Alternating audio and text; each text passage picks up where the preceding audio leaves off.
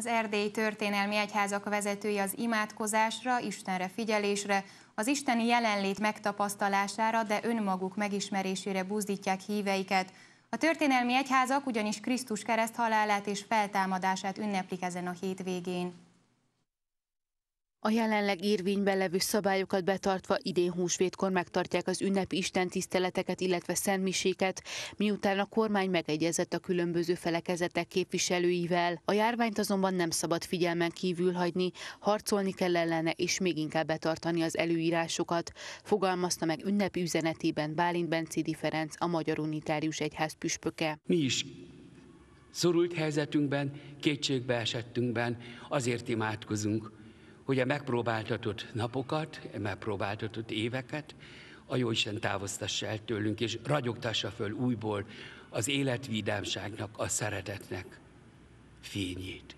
Bízom benne, hogy ezekben az érzésekben és gondolatokban megsegít bennünket a Isten, és háttérbe tudjunk szorítani minden veszélyt, minden vírust, és egymáson segítünk, egymás hitét gyarapítjuk, úgy, ahogy a názareti Jézus tanított bennünket. Böcskei László a Nagyváradi Római Katolikus Egyházmegye megyés püspöke arra bíztatta híveit, hogy merjenek kiemelkedni a mindennapiságból, szakítsák le magukról a félelem, a fölösleges aggódás és az okoskodás bénító kötelékeit, figyeljenek Isten jelenlétére. A mostani járvány ideje jó alkalom számunkra, hogy megtapasztalva Isten jelenlétét, tudatosítsuk magunkban meghívásunk kiválóságát. Mert Isten gyógyulást és szabadulást ígért népének, és ezt most a mi hozzájárulásunkkal akarja megvalósítani minden ember javára.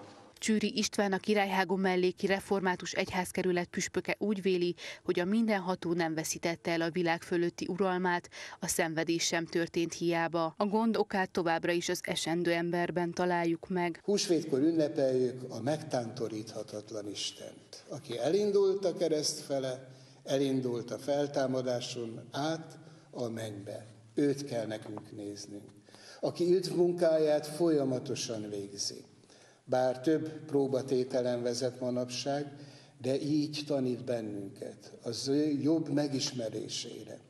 Ünnepeljük az életet, és a halált vegyük átmenetelként, az örök életre nézve. Ezekkel a gondolatokkal kérnek áldást minden imádkozó testvér életére, és kívánnak áldott húsvéti ünnepeket.